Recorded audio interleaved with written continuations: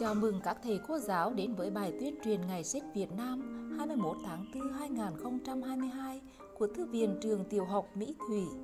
Kính thưa các thầy cô giáo cùng toàn thể các bạn học sinh thân mến, như chúng ta đã biết, Thư viện là trung tâm văn hóa của nhà trường, là nơi hồi tụ kiến thức, tri thức của nhân loại, giúp cho thầy và trò không chỉ dạy tốt, học tốt mà còn mở mang trí óc, phát triển nhân cách, hoàn thiện bản thân, xây dựng nền tảng văn hóa lành mình.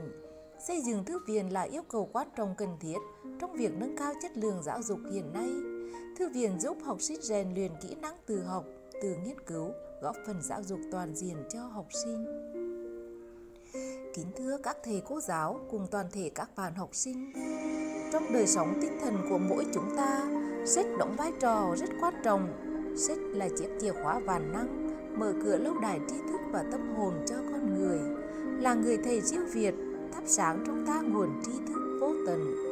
dạy chúng ta biết sống và biết yêu thương. Sách là kho tàng tri thức quan trọng đối với tất cả mọi người, bởi sách ghi lại những kiến thức, những giá trị của cuộc sống mà người đi trước đã kiếm tìm, học hỏi, trải nghiệm và truyền lại cho thế hệ sau. Những cuốn sách có nội dung tốt sẽ đưa đến cho chúng ta không chỉ những hiểu biết mới mà còn có cả những sự suy nghĩ, tìm tòi và sự biến đổi về tâm hồn. Mọi thành công của con người đều như, nhờ sự kết hợp của kinh nghiệm bản thân với trí thức lĩnh hội được từ việc học trong cuộc sống và trong sách vở. Chính vì vậy mà từ lâu, sách đã trở thành một nhu cầu cần thiết của loài người trên thế giới. Trong đời sống tinh thần của mỗi chúng ta, sách đóng vai trò rất quan trọng là chìa khóa vạn năng mở ra cánh cửa lâu đài trí tuệ và tâm hồn cho con người. Nhìn thấy tầm quan trọng của việc đọc, ngày 24 tháng 2, 2014, Thủ tướng Chính phủ đã ký quyết định lễ ngày 21 tháng 4 hàng năm là Ngày sách Việt Nam với hy vọng sẽ nâng cao nhận thức của người dân về văn hóa đọc. Đây là một Ngày sách Việt Nam năm nay với chủ đề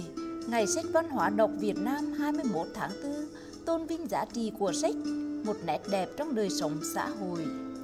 Là sự kiện văn hóa quan trọng nhằm tôn vinh giá trị của sách, khẳng định vai trò, vị trí, tầm quan trọng của sách trong đời sống xã hội. Tôn vinh người đọc và những người tham gia sưu tầm, sáng tác, xuất bản, in, phát hành, lưu giữ, quảng bá sách cũng như nâng cao trách nhiệm của các cấp các ngành, các cơ quan chức năng và các tổ chức xã hội đối với việc xây dựng và phát triển văn hóa đọc ở Việt Nam. Đọc sách để khám phá thế giới, khám phá lịch sử, nhưng quan trọng hơn là cả hơn cả là để khám phá bản thân mình và đặc biệt đọc sách trong các giờ ra chơi sẽ giúp các em giải tỏa được những căng thẳng sau những giờ học trên lớp, vừa giúp các em học sinh tránh xa những trò chơi nguy hiểm Ngày sách Việt Nam năm nay diễn ra trong bối cảnh dịch Covid đang diễn ra rất hết sức phức tạp. Dù vậy, các thầy cô giáo và các bạn học sinh vẫn không quên nhiệm vụ của ngày hồi đọc. Và dù dịch bệnh vẫn hoành hành trên khắp cả nước, nhưng cách thức tổ chức ngày hồi đọc dù có thay đổi nhưng không làm thay đổi văn hóa đọc với những cách thức tuyên truyền như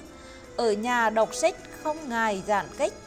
từ những hoạt động ý nghĩa sâu sắc và bổ ích của ngày hội đọc sách mang lại cho các thầy cô giáo và các bạn học sinh. Cho thấy việc tổ chức các hoạt động tập thể, đặc biệt là tổ chức ngày hội đọc cho các bạn học sinh thật sự rất cần thiết. Bởi từ những hoạt động như thế sẽ góp phần giáo dục chúng ta phát triển toàn diện và nhà trường thực sự trở thành ngôi nhà thứ hai của các bạn học sinh chúng ta. Bên cạnh đó, việc tổ chức ngày hội đọc sách không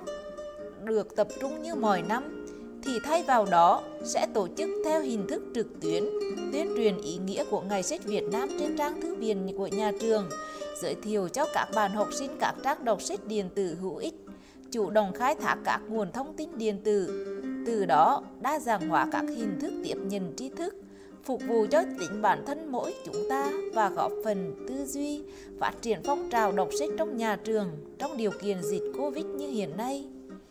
Bài tuyên truyền về ngày hội đọc sách hôm nay đã kết thúc. Kính chúc các thầy cô giáo và các bạn học sinh sức khỏe, học tập tốt, Hãy cùng nhau hưởng ứng Ngày Sách Việt Nam một cách lành mình và có ý nghĩa nhé!